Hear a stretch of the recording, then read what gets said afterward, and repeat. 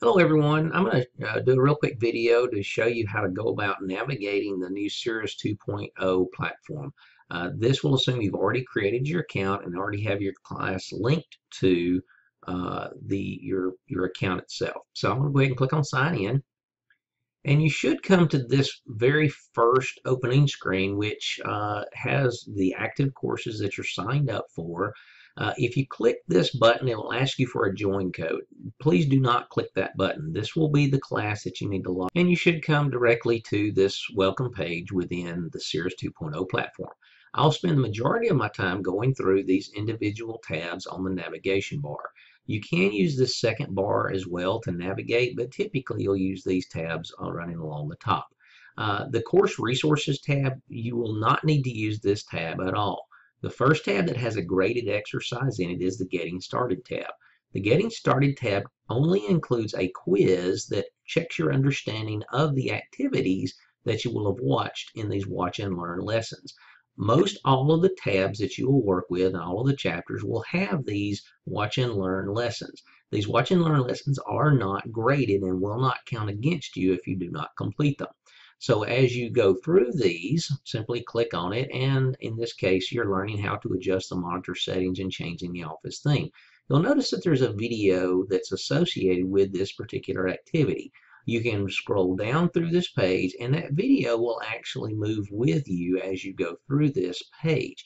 If you'd rather not read through this, you can actually watch the video, and the video will walk you through this activity as well. Again, these activities are not graded and are not part of your overall score for the course. But if you go back to this tab, you will see again that you have this quiz. When you go to take the quiz, you'll simply click the take the quiz option and it'll tell you the availability date and the end date for this for this quiz. The quiz is due on August 25th by mid, by uh, midnight. And it says I did complete the quiz on 822 and I have no remaining attempts, which is okay. Uh, the really neat thing about this application is that if you are completed with one of these exercises, you simply have to click the next button. It'll take you to the next tab, which happens to be the Information Technology Essentials tab. This is similar to the Getting Started in that you only have one graded assignment, and that's this quiz that you take here at the bottom that again will cover the information that's covered in these watch and learn lessons. Now I've already gone through both the Getting Started and the Information Technology Essentials quiz, so I'm ready to start looking at my Word assignments. Now many of you will ask where your assignments are located. Where is my list of assignments to complete? The list of assignments is found inside each of the sections within each of these modules running across the top. The word the word task, the word uh, tab rather, uh, is similar to the Excel tab, is similar to the Access, and is similar to PowerPoint. The layout is very similar between each of the applications. Normally you'll have three sections. Uh, in this case, Word, you'll have section one, section two, section three, and think about this as chapters in a textbook. Uh, so we'll look at section one first. And section one, again, has some watch and learn lessons. Uh, again, these do not count against you. These activities uh, 1.1 through 1.14, they do not count against you, but they will help you perform better on the quizzes, on the Check Your Understanding quiz, as well as the concepts exams that you will have for each chapter or for each section within these applications. So the, the again, the activities are not graded, but they will help you score better or higher on the following exercises.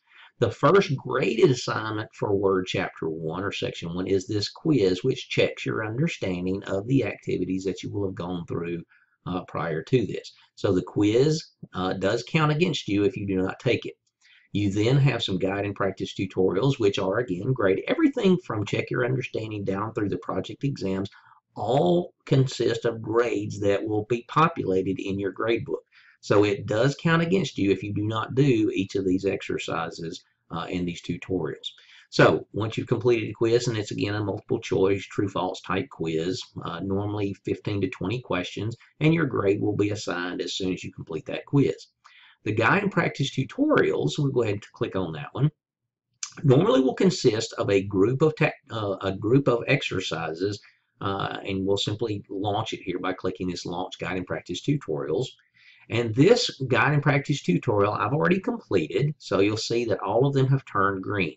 Uh, the links themselves will be blue if you have not completed it. You'll also see an individual grade, but these grades are a little misleading.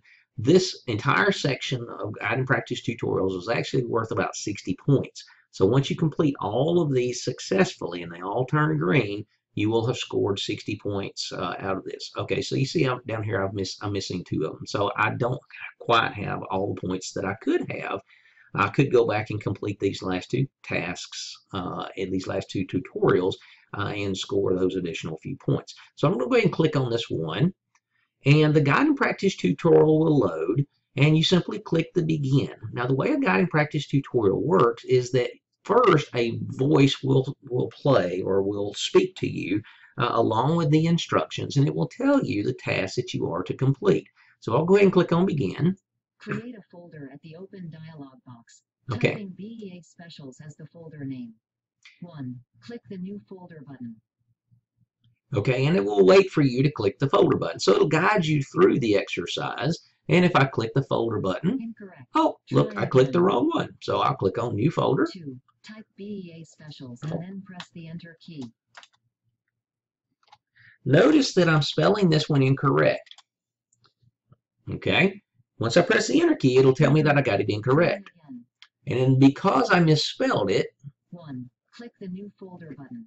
I'll start it again. 2. Type BEA Specials and then press the enter key. Okay, now that I spelled it correctly, it should accept it. Typing BEA Group Plans as the new folder name. 3. Click the Organize button. Okay, and if I don't know where the organize button is, I can ask for help. 3. Click the Organize button. There we go. So it'll show that I've clicked the organize button. So I'll go back and try it. 3. Click the Organize button. 4. Click the Rename option. Then I'll look and find the rename option. I click it. 5. Type BEA Group Plans and then press the Enter key. Incorrect. Try again. Notice again that I misspelled the name. 5. Type B. 4. Click the Rename option. Incorrect. Try again. 5. Type BEA Group Plans and then 4. Click the Rename option. 5. Type BEA Group Plans and then press the Enter key. Delete the BEA Group Plans folder. 6. Click the Organize button. Try again. 7. Click the Delete option. Close the open dialog box. 8. Click the Close button. Congratulations! You have completed the guide section. Now practice and develop mastery by going to the practice section. Now, once I've completed the guided piece, now it lets me actually go through the graded piece. The practice piece is actually what is graded for you going through this exercise. Now I'm simply going to skip through this thing. I don't care to go through it, uh, although we could certainly do that. So I will close my application, close my task list, and go back to my list of my guide and practice tutorials. Now, I've not completed that one, so I didn't get credit for it. So I'll close that tab back out. And now it'll take me back to my guide and practice tutorials. Now, in that case, I just simply close the the tab that that guide and practice tutorial was opened in, and it'll bring me back to the tab for Cirrus 2.0. So once you complete the guide and practice tutorials, which are graded, simply cycle through to the next exercise. The next exercise are the two section one exercise, exercise one and exercise two. So we simply click launch exercise one and you'll see that you have an attempt button here. Uh, in my case, I've already completed this once, so I will get a reattempt opportunity if I want to try it again. You will, the very first time you try to access one of these assignments, you will see an option that says validate Office 365, click here. You must validate your Office 365 account utilizing your Wallace State student email and your Blackboard login password. Once you've completed that, you'll come back to this tab and this button will be orange and it'll say uh, attempt attempt exercise. Uh, once you've clicked that exercise attempt button, it will load up and it will take you through those steps. I will go through this loading process. Normally it takes maybe 5 to 15, 5 to 10, maybe 15 seconds to load up. Uh, it can be longer or shorter depending on the speed of your internet connection. So we'll let this one cycle through until it gets to the starting point, uh, and then we will look a little bit more at the interface itself. So we will see how long it takes and eventually it loads up. Most of you will want to choose the full screen option, so we'll go ahead and click on full screen. Now show that it's loaded in full screen, and part of my window is a little bit hidden, so I'll, I'll open it back up. Now in this case, uh, to start the exercise, I would just simply click on next. But before we do, let's, let's take a look at the action tool legend down here at the bottom. This first option is a menu bar, a menu, it's normally called a hamburger menu because of these three lines. And I'll show you where that is once we actually start the exercise. If you see the light bulb, that tells you that the help option is active and is available. You can also then move the task bar around uh, by clicking the lower right hand corner or simply clicking and dragging it. You can also use these uh, command buttons. This next button will take you to the next task, and then the check answer button will allow you to check the task. Now notice in this option, in this case it says to select the check answer when all of the tasks have been completed, and it will cycle through and check all of the exercises that you would have completed during that uh, attempt. So let's go ahead and click on next. And in this case, it tells me that I have four tasks that I have to be that I have to complete.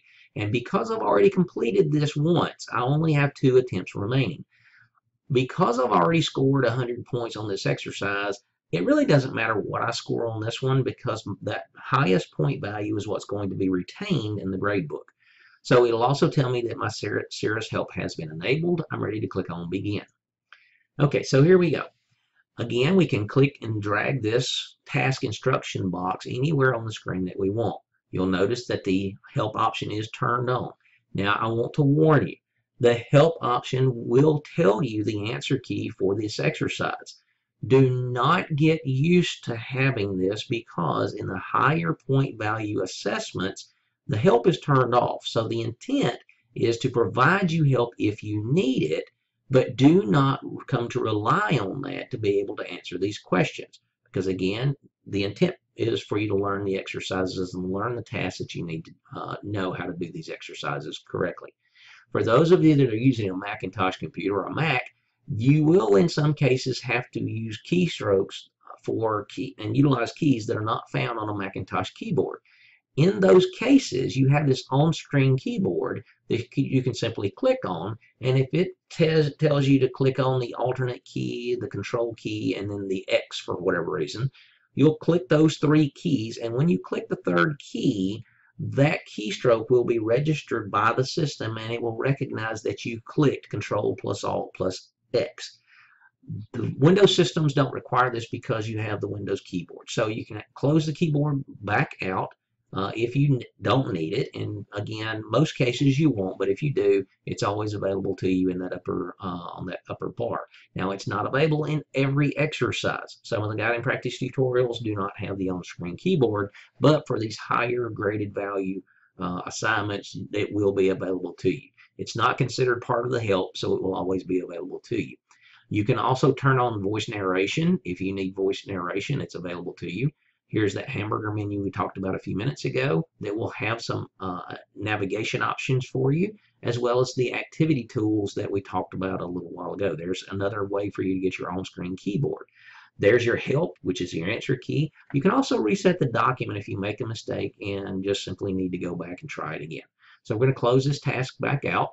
And here is your next option. Now notice I haven't done this exercise. I haven't done this task. I'm going to completely ignore it because I don't know how to do it. I'm just going to cycle on through it. I'm going to click all the way through to task number four of four. Once you've completed task four, then you click this button that says check answer. Now, I intentionally did not answer anything correctly so that I could show you how the grading system works. It goes through and it checks each of those four tasks in this case, and it will develop for me a, a feedback mechanism that will tell me what I did not do correctly. It'll mark it as incorrect, and on the last page of this document, it will show me what my results for this assessment are. Now, I have the option of resetting, returning, or finishing this exercise. If I click finished, it will grade it, and in this case, I will uh, be awarded a zero for this exercise. But again, that's okay because I still have another attempt remaining if I need to go back and do it again. Now, resetting the document is supposed to reset the entire attempt, which means you'll have to go all the way back through exercise one, uh, steps one, two, three, and four again, and then check the answer again. I'm going to go ahead and click on finish because I'm satisfied that I don't really uh, need this attempt, and I'm just going to go ahead and, and let it grade. Now, here is all of the tasks that I did not complete, showing me that I didn't complete it accurately. Once you are completed, make sure you click this Finish Review and return to the activity page. Make sure you click that button so that it will actually post the grade or post the attempt. This, by the way, is not your grade book. I'll show you the grade book here in just a few minutes, but this simply shows you the attempts and the point values that you were awarded for each of those attempts. So I'll close out this window and I'll go back to my assessment tab.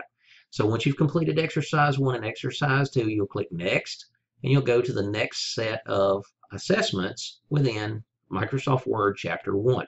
And the Chapter 1 has a concepts exam. This is a multiple choice true false uh, exam or quiz. Again, it's got 10 or 15 or 20 questions, very similar to the check your understanding uh, back at the beginning. But again, this concept exam uh, will, will test your knowledge of all of the concepts that you've learned in Chapter 1. So it really is helpful and in most cases necessary for you to go through those watch and learn activities, even though they do not in and of themselves uh, count against you. This is where that knowledge of those watch and learns is tested.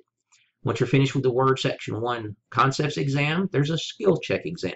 The Skills Check exam is similar to the projects, uh, but again, it uh, has uh, maybe five or six tasks or a few more uh, for you to complete as well. So it's similar to the project exam. You click next and you will have, finally, you'll have two section uh, project exams. These project exams are live in application exams. Uh, you will launch it very similar to the exercise we uh, saw just a moment ago that we walked through.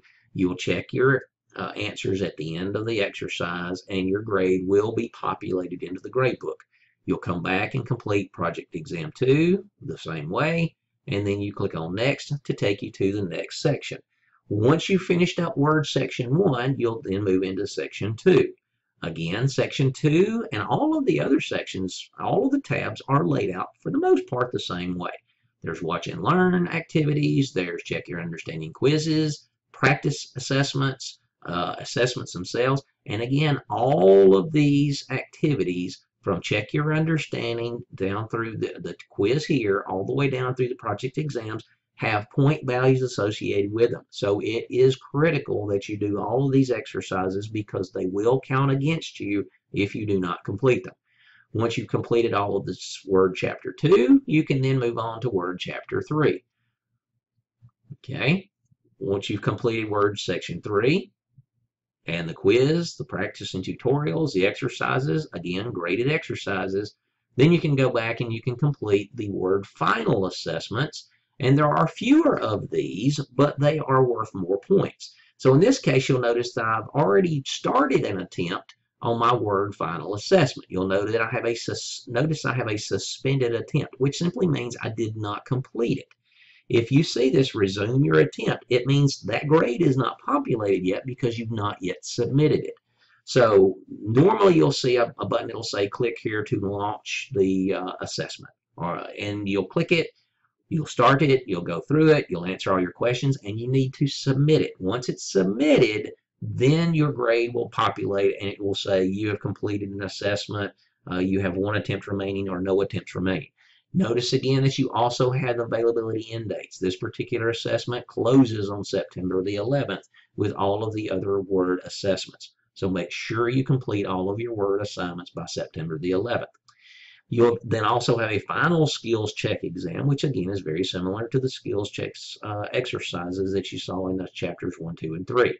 Then you'll have a Word Final Project exam. The Word Final Project exam is simply a longer exercise than the skills check exam. Uh, so these are very, while they're very similar, the point values can be quite a bit different. Okay, we then click on Next, and this would should cycle us over to the Excel menu. Now, before you begin the Excel assess assessments, uh, going through the same process we did earlier, do not forget that you have a Word meta major project that you must go back to Blackboard and complete. Once you've completed it in Blackboard, now you're ready to start in the Excel section of the course. Once you finished Excel, you'll go through the Access portion, then you'll go through the PowerPoint exercises. Again, these exercises will have the due dates associated with them. So if I take the quiz on any of them, it'll tell me that October the 11th is the availability end date for Excel. Everything in Excel is due by October the 11th at midnight.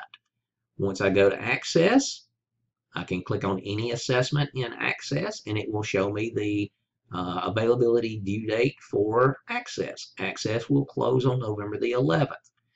Finally, PowerPoint.